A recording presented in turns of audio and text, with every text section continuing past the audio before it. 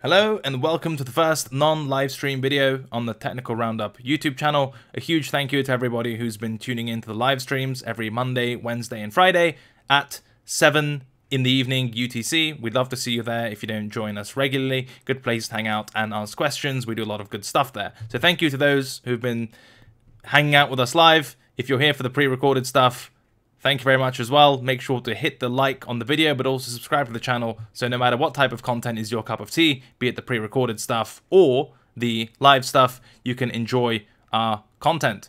Last little plug in terms of the description box, technicalroundup.com, our weekly newsletter, which comes out every Tuesday at 8 p.m. UTC. That's freely available and also sponsored by Bybit. Thank you very much. Uh, go sign up, subscribe. There's no upselling weird stuff going on there. It, it is just a free newsletter that DonAlt and I write together. So there's some good stuff there if you just want the levels, for example, and none of this rambling. Enough said, I thought for the first video it would be a good idea to kind of run through Link, both the BTC pair and the USD pair, talk about the technicals, key levels, give you a kind of roadmap so no matter what happens, I don't need to pepper you with updates and you have a rough understanding of where the market's at and where the important areas are. We're going to look at the BTC pair and the USD pair, so regardless of whichever you trade uh, or however you, I suppose, value or track your portfolio, you'll know what's up. So let's get straight into it. Monthly time frame. Looks good. Number go up. Strong uptrend. That's the crazy thing about Link. Um, it really picked up and has been completely, uh, you know, unaffected by the two-year plus, arguably still ongoing, altcoin bear market. Didn't really care, just kept going, and it is still going. So no time frame makes that as clear as the monthly time frame, at least in comparison to Bitcoin, but also the USD pair. Surprise, surprise, is no different the weekly time frame, we can actually start doing some analysis here. There's been an important shift. I mean, look, uptrend, number go up, still market structure bullish. I'm sure whatever moving averages or system you use for directional bias, it's it's positive. Nothing's been broken yet. It's just been going up. One interesting shift that I will mark is that in previous uh, trend continuation setups, the market would at least roughly pull back to the area um, where the trend was broken or where market structure shifted and offered continuation in that area. So, I mean, just kind of eyeballing it here, pulled back to the pre-breakout level, similar thing happened here. Um, you know, if I use this swing high, similar thing happened here. It's not perfect. We were not writing TA textbooks at the end of the day, but you can see there's a general um, propensity to once the level's broken and market structures shifted, some sort of high time frame, that's important, high time frame pullback uh, before continuation in the trend, right? And again, this is curve fitting to some extent, wicks, bodies, doesn't really matter too much. But more importantly, um, with the last two legs or so, uh, on the high time frames, that kind of pullback has not been materializing. The market's not been so generous and has simply been moving too quickly for that to take place. You can see even if I use the wick and the body here, um, the retest did not occur. And if I do a similar thing here, um, no pullback to structure yet. So that's an important shift. There is a video on the channel which talks about trading strong trends. That's one of the live streams. Uh, go watch. It's, you know, the whole stream is essentially dedicated to that. And it could be a video topic in the future if you want to hear that uh, leave a comment in the description. Not in the description, you can't do that. Leave a comment on the video and uh, I'll be sure to gauge sentiment. But this is just worth being aware of in terms of your expectations when it comes to trading this thing. Certainly if you're high time frame focused, that the market is not in its current form doesn't seem to be terribly keen to pull back to where we'd like it to before it moves uncomfortably higher, certainly if you're not on board the move, okay? Another kind of technical structure that I think is worth familiarizing yourself with, both if you're trading Link, but also just strongly trending instruments generally, is this price pattern, essentially, where you get a strong impulsive move in a market, ideally through a key level or through an area of market structure, or basically a high time frame move that matters for one reason or another. Then you get a consolidation, a range, right? And then continuation from that range. So you can see impulse, consolidate, and then impulse again. And the important bit within this type of structure is the consolidation itself. That consolidation, which preceded, or sorry, which followed and then preceded uh, impulsive moves in the market, especially ones that lead to uh, continuation in the same direction, they themselves, these ranges, these boxes, become technically significant structures.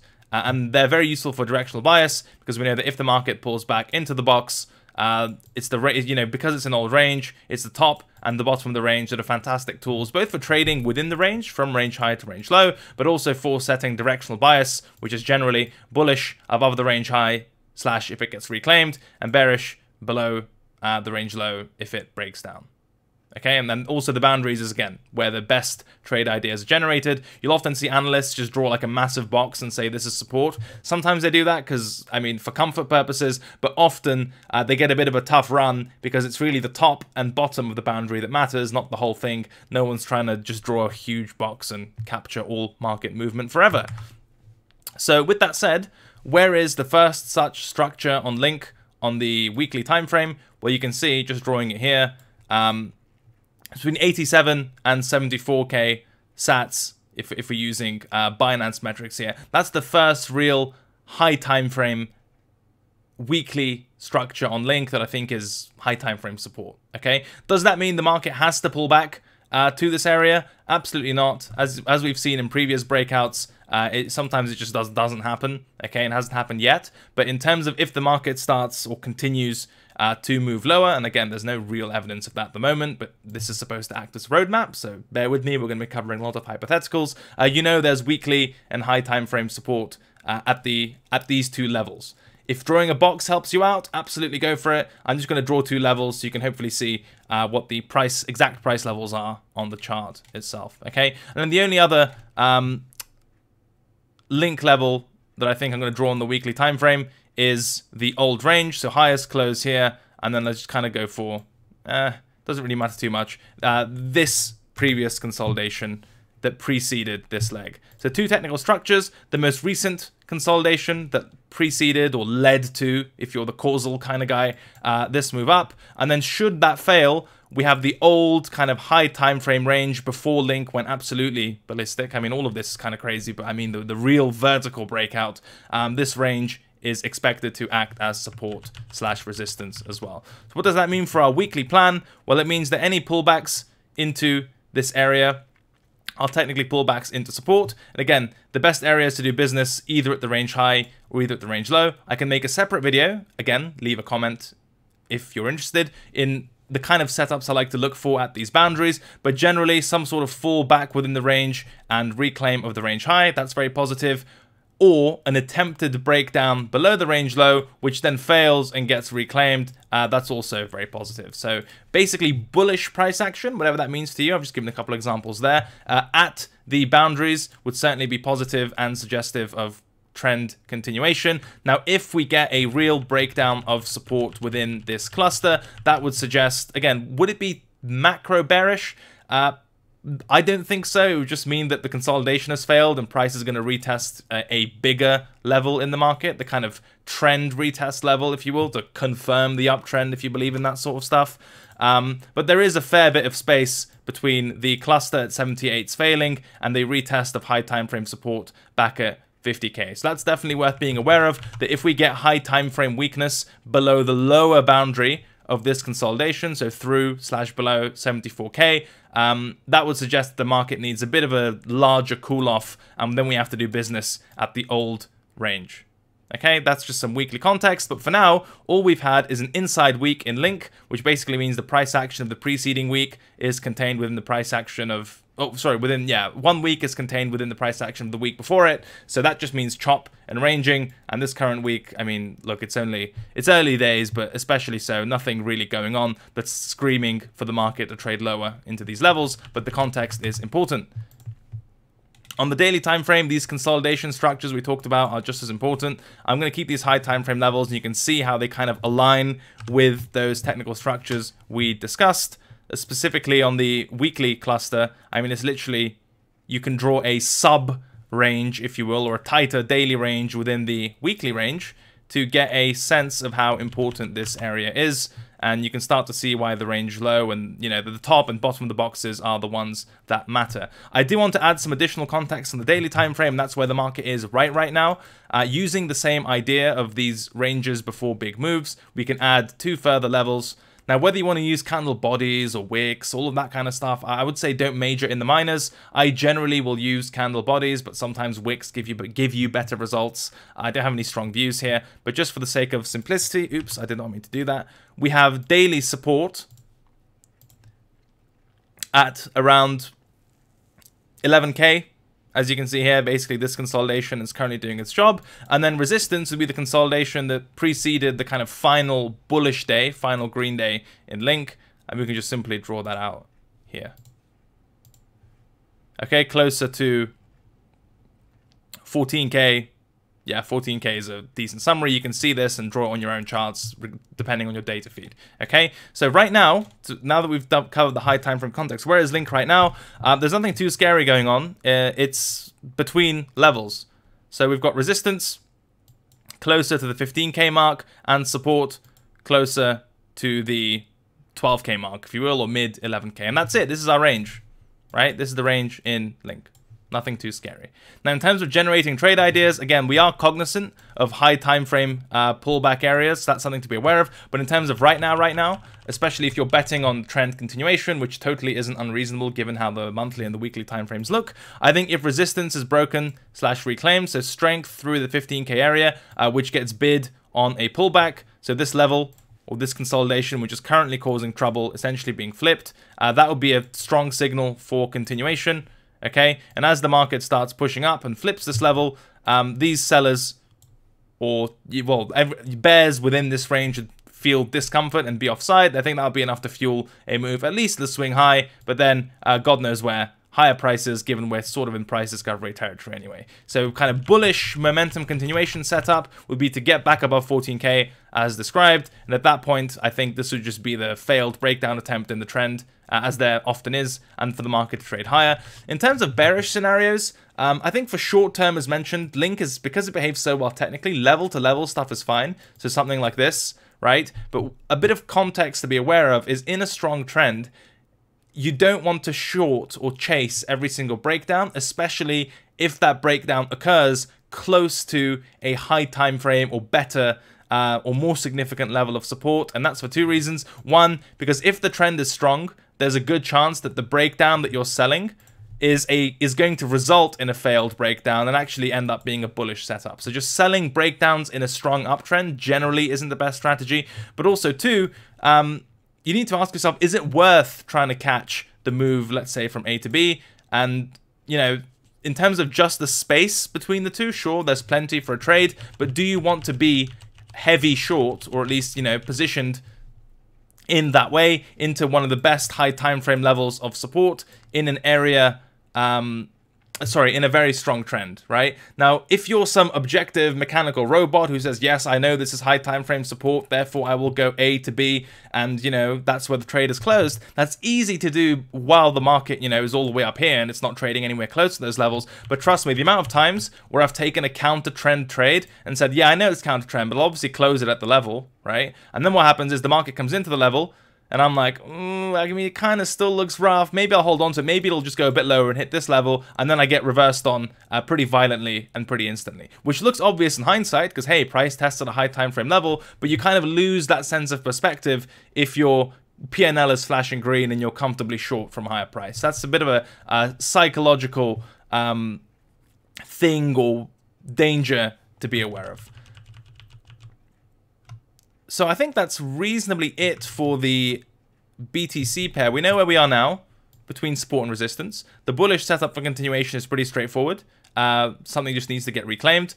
Uh, I'm still fine trading this level to level. So again, from support to resistance or even from resistance to support. Given the trend is up, I'd much rather trend trade from support to resistance rather than vice versa. But again, I'm not going to try to model under every single possible trading system that could exist. If the market does offer a higher time frame pullback, I definitely wouldn't be ignoring um, these weekly levels okay? And only if they fail, which would be somewhat surprising, but you need to be ready for anything. If support fails, which again, not the whole box is support, for me that would mean the lower boundary uh, falls out, okay, and acts as resistance or just doesn't provide any support, then we have to potentially deal with a shift in trend, high time frame trend with Link, because we'll be retesting the macro uptrend level closer to 50k, okay? So if you don't want to entertain too many counterfactuals, if this, then this, and this means that, and everything, just trade at level to level, and I think you'll be uh, in a very good spot. Uh, but even in the level to level trading, uh, certainly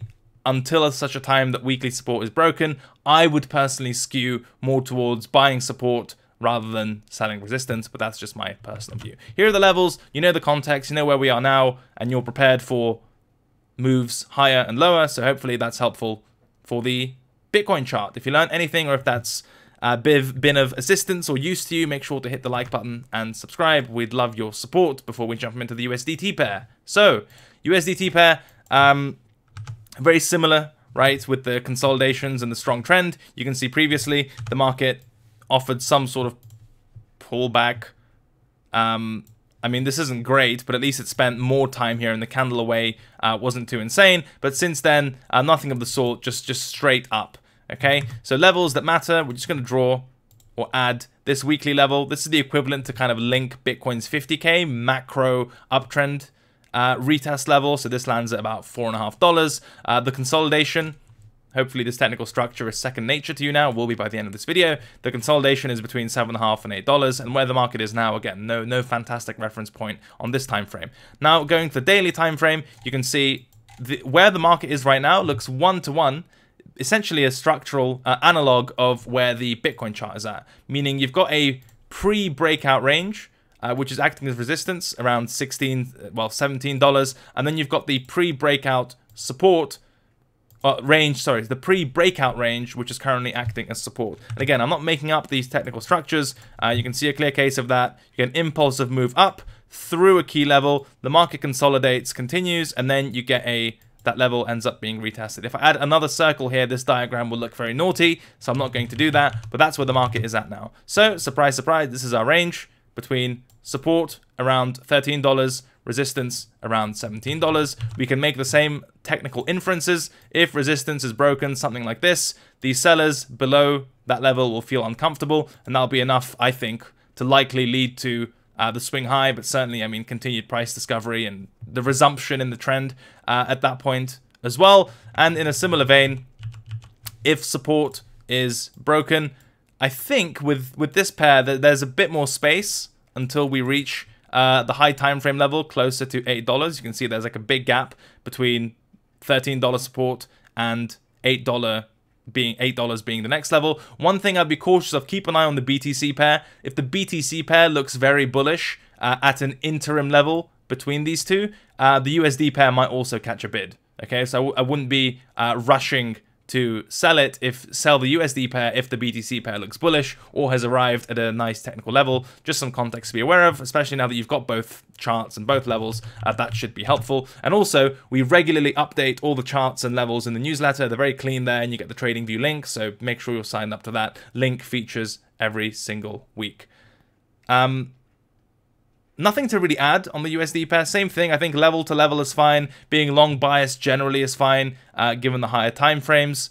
Um, and if you're just on board for continuation, uh, the breakthrough 17 is probably the easiest or the easier trade on the table. If you're more of a technical guy or low time frame guy, I still think some sort of overextension a failed break, uh, you know, an attempt to break through the 13 level, which then, you know, bearish retest, which fails, something like this uh, would still be also positive and uh, risk defined. So range until proven otherwise. If the market dips, the next level of support for me on the high time frame is around $8, but I would be cognizant if the market is floating between these two levels of the BTC chart to make sure that you're not selling high time frame support on that pair. I think that's all I've got. The levels, just quick recap. 16 to $17 on the USD pair resistance, 12 to $13 support. The next high time frame support, $7.5 to $8. And again, this isn't the box, it's the levels themselves that really matter. And then all the way down the macro bullish retest level closer to $4.5. And without reading them all out again, um, here are the levels on the Bitcoin pair. That's all. I hope this analysis and roadmap for Link is helpful. It should keep it should have you sorted for a long time to come and so you don't lose perspective or do anything too crazy. If you enjoyed the video, support us by coming into our live streams every Monday, Wednesday, Friday at 7 UTC. Subscribe to the channel, like the video. Any video requests, given these pre-recorded videos are going to be a lot more often or a lot more frequent on the channel, make sure you leave uh, feedback in the description below. Huge thank you as always to Bybit for sponsoring Technical Roundup, the newsletter as well as the YouTube channel. Their links you can see at the top. Show them some love, and I will see you either in one of the live streams or in the next video. Thank you for watching.